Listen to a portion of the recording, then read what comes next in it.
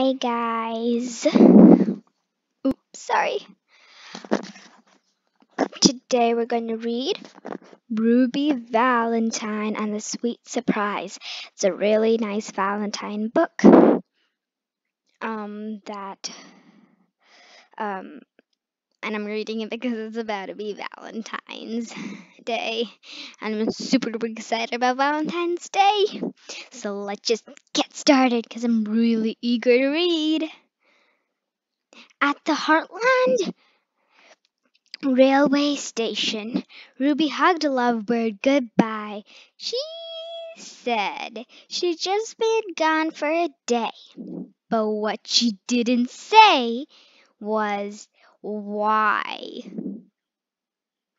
Ruby Valentine boarded a train and took a trip into the city.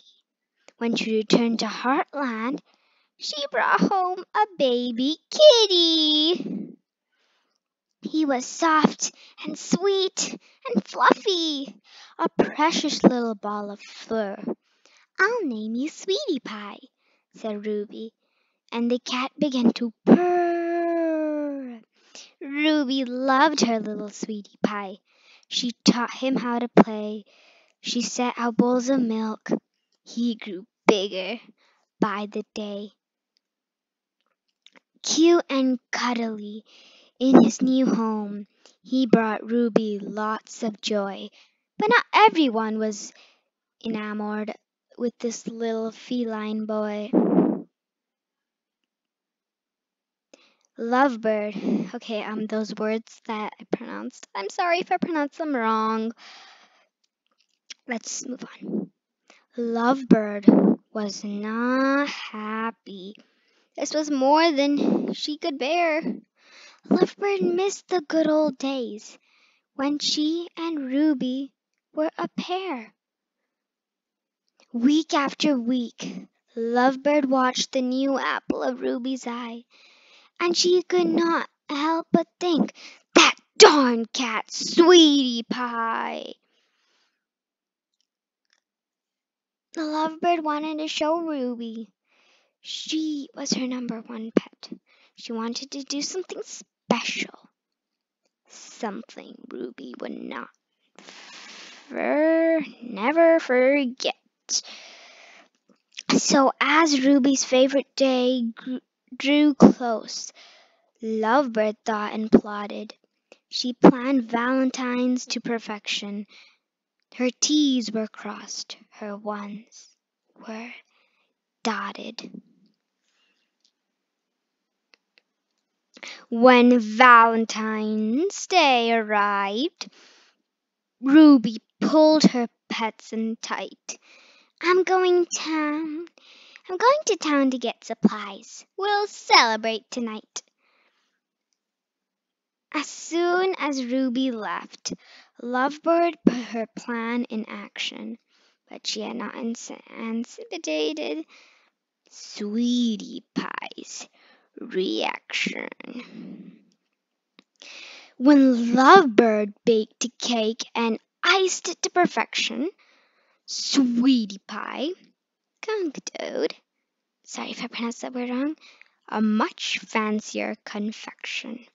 When Lovebird hung streamers and hearts along the walls, Sweetie Pie flung confetti in every room and down the halls. And when Lovebird arranged flowers in an honor in honor of the day, Sweetie Pie brought in a more elaborate but cute. Sorry if I pronounced elaborate wrong. Lovebird looked around the house. Her plans had gone awry. I don't know how to pronounce that. I'm sorry if I'm pronouncing a lot of words wrong. You rotten cat! asked squawked Lovebird. Then she lunged at Sweetie Pie. When Ruby returned home, she was shocked at what she saw. A mess in every corner, her pets locked in a brawl. She dropped her bags of goody and crowded into dismay. Can someone please explain what happened while I was away? Both pets talked at once, telling what they tried to do. That's when Ruby told them, There's room in my heart for two. Then she helped them clean and dust. They used the mop and rag to broom and, and broom. They scoured every corner. They tidied every room. They took a nice long bath. They scrubbed the day away. Ruby set out all her goodies for a Valentine's buffet. Then Ruby said, Surprise! There's still more to celebrate. We're going to watch a movie. You two get to stay up late. So Ruby, Lovebird, and Sweetie Pie all snuggled up in a chair. They had a squish together, but no one seemed to care. When the movie ended, both pets looked and sat and down. Valentine's Day is over, they both said with a frown.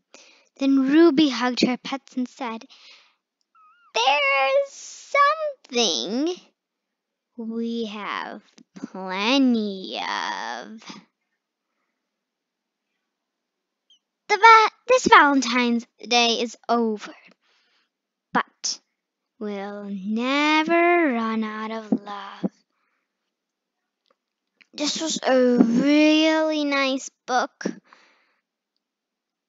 and I loved reading it with you. I hope you have a wonderful, wonderful Valentine's.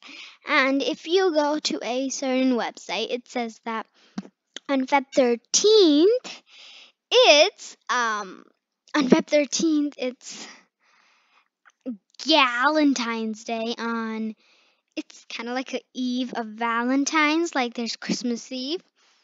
Galentine's Day is a little eve of Valentine's. And I hope you have. Ooh, and today is Abraham Lincoln's birthday. Hmm. There's lots of other days. And I want you to check them out. So you can go to nationaltoday.com and you can explore by yourself. I'll see you next week. Bye, guys.